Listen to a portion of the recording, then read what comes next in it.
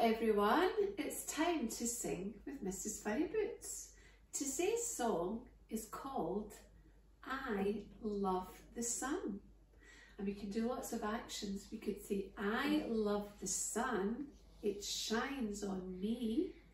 God made the sun and God made me. And then we can say, I love the stars, they twinkle for me. And we can say, I love the birds, they sing for me.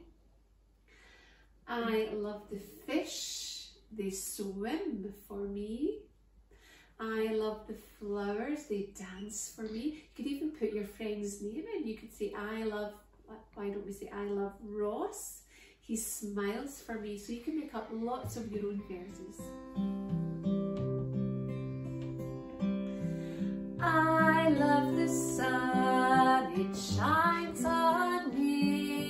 God made the sun and God made me. I love the stars, they twinkle for me. God made the stars